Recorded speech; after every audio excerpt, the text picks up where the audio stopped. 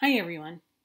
We've been learning about ecosystems, how animals eat other animals or plants to survive. Today, we're going to do an activity about owls. Owls are amazing animals. You probably know that they are nocturnal and that they are carnivores. They eat the things that they can find at night. So small furry animals running around on the forest floor like mice and chipmunks and squirrels. In this area, the owls that you are most likely to see or hear are great horned owls. They're pretty big. And eastern screech owls. They're pretty small. No matter what kind of owls they are, they all have a couple of really cool adaptations that help them to survive. They sneak up on their prey, so if they were very noisy, they wouldn't be very successful hunters. They have very, very fluffy feathers, and when they fly at night, their feathers hardly make any sound at all, and that helps them to sneak up on their prey when they eat something like a mouse, they don't tear it apart the way some animals do with their food. They eat the whole thing, they swallow it. But the fur and the bones aren't useful to them. They don't get energy from them. So they do something very cool.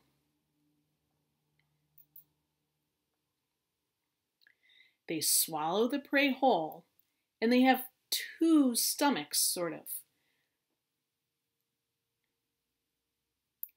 The mushy parts of the mouse are the parts that they digest. That stuff moves on to the second stomach, and the owl uses it for energy. The fur and the bones, they don't need that. The owl smushes the fur and bones into a little ball called a pellet, and then it spits it up. Luckily for us, some people walk around forests looking for these little owl pellets. They collect them and they sell them to companies that bake them to kill the germs and then sell them to people who can take them apart and find the bones inside.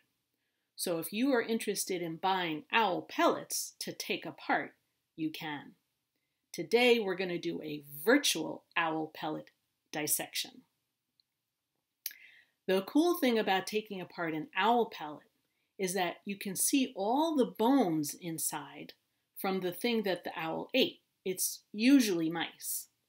And the bones don't get broken usually.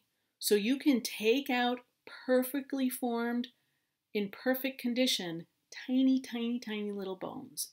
And you can put together an entire mouse skeleton. So that's what we're going to do today. We're going to do a virtual owl pellet dissection. So you're going to go to a website. I'm going to give you the site on the next page. And you're going to um, click on virtual owl pellet. You can look at the information if you want.